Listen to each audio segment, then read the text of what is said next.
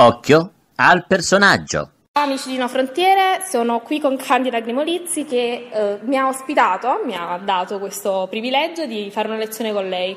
Candida, come hai cominciato a ballare danza del ventre? Uh, mi sono avvicinata, vabbè, innanzitutto buongiorno, buonasera. Uh, mi sono avvicinata a questa danza uh, perché mi affascinava tantissimo. Io vengo dalla danza classica, sono quindi diplomata in danza classica e moderna e contemporaneamente ho scoperto il mondo orientale e mi ha subito preso, anche perché siamo in radio, però in realtà io ho gli elementi molto orientali e quindi mi ha subito colpito questa danza molto elegante, molto femminile, che qui al sud spe- spesso è sottovalutata. Se i nostri amici ti volessero vedere, dove possono venire a vedere una tua esibizione o fare quello che ho fatto io oggi, cioè provare questa emozione della danza del ventre? Allora, sicuramente sulla mia pagina Facebook Candida Grimolizzi troverete tutte le informazioni. Io seguo corsi in varie scuole sul territorio campano, quindi l'Accademia Bellini a Via Santa Teresa degli Scalzi o alla Rione Alto alla Danza Art Studio o anche l'Accademia delle Palme a Via De Mille. Per per quanto riguarda invece le prossime esibizioni, venerdì 24 febbraio sono fiera di poterlo dire che ci sarà una bellissima serata al Club 55 in via Toledo 55.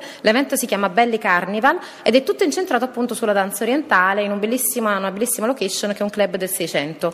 Candida, sfatiamo un mito. È vero che nella danza orientale si deve essere molto in carne oppure diciamo che anche le magroline possono avere la loro occasione di essere ballerine per una notte? Assolutamente no, non bisogna essere essere molto in carne è una diceria perché ovviamente si vanno a sforzare parti del corpo che noi non sappiamo nemmeno di avere con questa danza, quindi è molto importante lasciarsi andare perché anche la, le più magroline hanno comunque un punto vita, non dipende dalla taglia del seno che spesso mi viene richiesta, comunque dalle forme, ma anzi è una danza che enfatizza ogni tipo di donna.